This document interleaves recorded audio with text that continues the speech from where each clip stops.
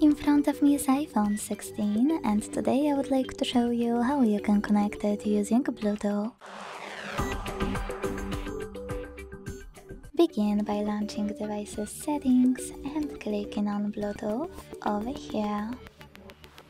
Then use this switcher next to Bluetooth feature to activate it. And wait for available devices to show up.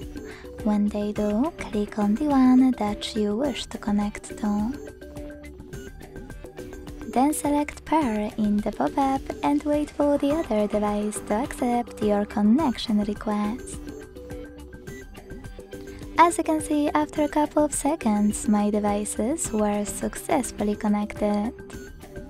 Thanks so much for watching. If you enjoyed this video, don't forget to leave a like comment and subscribe.